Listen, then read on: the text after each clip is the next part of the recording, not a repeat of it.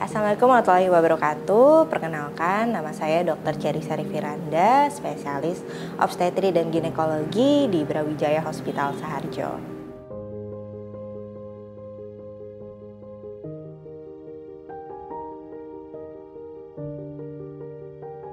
Nama saya Taufik Mailana Fatoni, saya bekerja di Brawijaya Hospital Saharjo selama 2 tahun kurang lebih sebagai perawat.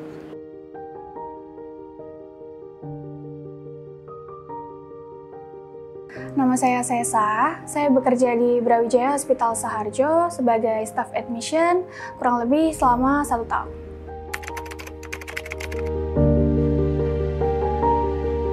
Semua orang pasti akan berburu takjil ya, itu nggak ada di bulan-bulan lainnya. Uh, mulai dari jam 4, jam 5 kita udah nyari-nyari uh, jajanan ya maupun makanan maupun minuman buat kita uh, berbuka.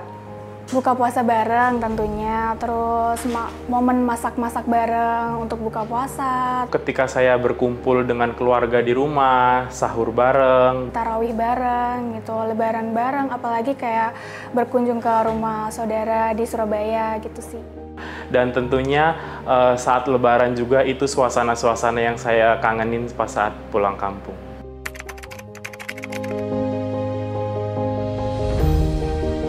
uh, pengalaman nggak berlebaran bersama keluarga dulu sih pernah ya apalagi waktu zaman zaman masih residensi waktu masih sekolah di mana kalau memang eh, nggak uh, dapet jadwal untuk libur ya di, kan dulu waktu sekolah shift shiftan ya mau nggak mau kita harus uh, berlebaran di mana pun kita berada gitu.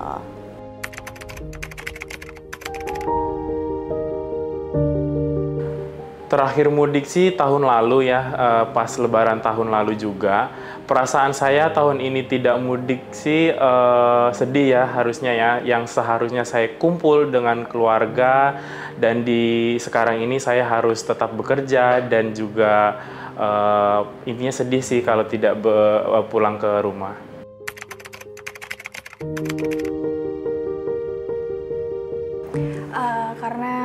Sini saya bulan Ramadan dan Lebaran pertama di Jakarta ya.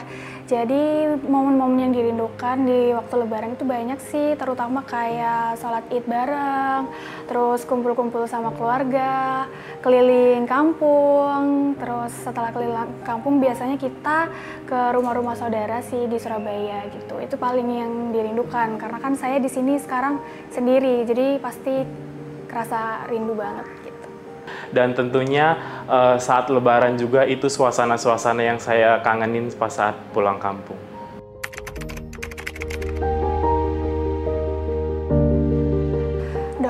Harapan untuk keluarga di kampung halaman terutama mama ya karena kebetulan orang tua saya tinggal mama dan semoga mama, kakak, adik waktu lebaran nanti tetap merasakan kehangatan. Semoga semua keluarga itu sehat selalu, terutama untuk bapak dan ibu saya, supaya nanti jika saya ada kesempatan untuk pulang kampung di tahun depan, saya bisa berkumpul bareng bersama keluarga-keluarga saya, terutama bapak dan ibu saya.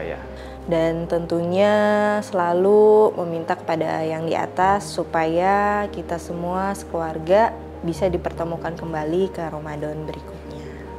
Uh, dan saya juga berdoa untuk ayah saya. Uh, semoga ayah melihat mama, kakak, adik kumpul. Meskipun saya jauh, tapi saya tetap merasakan dekat di hati saya.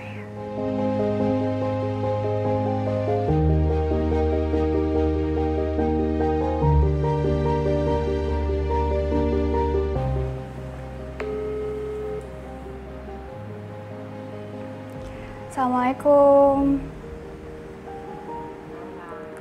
Mama. Ya. Oh, maaf ya, kakak belum bisa pulang lebaran ini. Assalamualaikum, Mi. Malam. Uh, Alhamdulillah, baik. Uh, maaf ya, Mi. Uh, pas nanti lebaran nggak pulang. Kenapa kakak nggak dapat cuti? iya nih, nggak dapet cuti. Kenapa nggak pulang? Karena nggak nggak nggak dapat libur juga, karena juga eh, harus gantian dengan yang lain. Oh, kerja. Mm, tetap kerja, harus kerja. Kerja. Mm-mm. Ya, ya udah mama doain kamu di sana baik-baik ya. Iya, amin. Mama juga di sana ya. Nanti sama Iya. kakak, adik waktu lebaran tetap harus kumpul meskipun nggak ada kakak.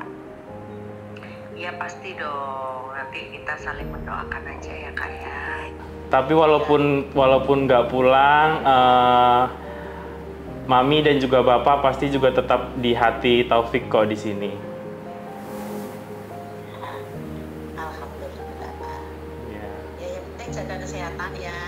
Iya. Jaga sholatnya. Jangan sampai lupa. Jangan sampai ketinggal. Ya, sehat terus ya, Ma.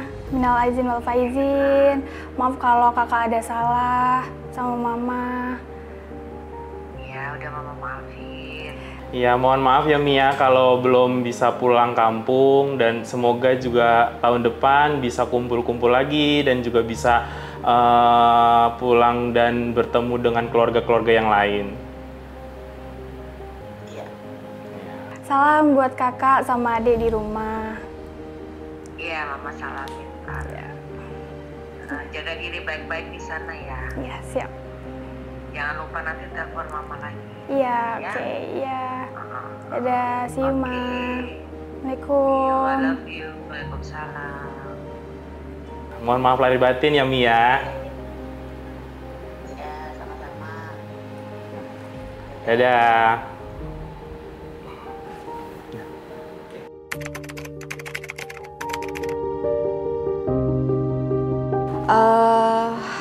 Pernah ya dulu pengalaman seperti itu. Jadi sebenarnya sih eh, harusnya pagi itu saya sudah lepas shift.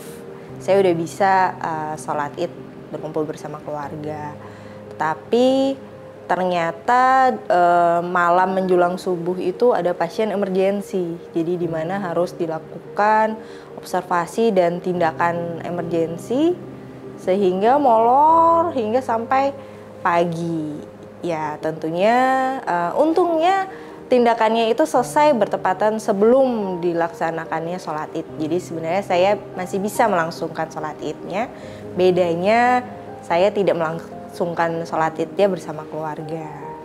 Jadi ya eh, momennya mungkin berbeda ya di mana kalau tiap tahun sholat id bersama keluarga saat itu saya harus sholat id bersama rekan saya yang bertugas saat itu juga kemudian eh, kakak perawat kemudian dokter yang juga sedang standby saat itu juga. Jadi eh, momen itu nggak bisa keulang ya dan harapannya sih nggak keulang lagi ya selalu pengen sholat itu bersama keluarga tetapi ya balik lagi karena memang inilah profesi saya.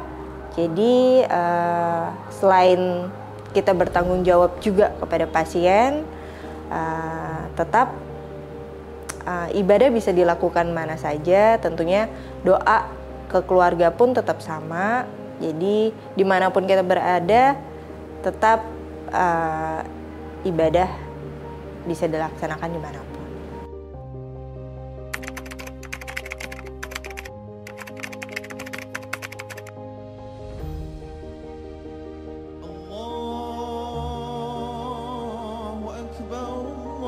Taqabbalallahu minna wa minkum siyamana wa siyamkum. Selamat Hari Idul Fitri tahun 1445 Hijriah. Semoga kebahagiaan, kesehatan, dan keberkahan senantiasa menyertai kita. Allahu Akbar Allahu Akbar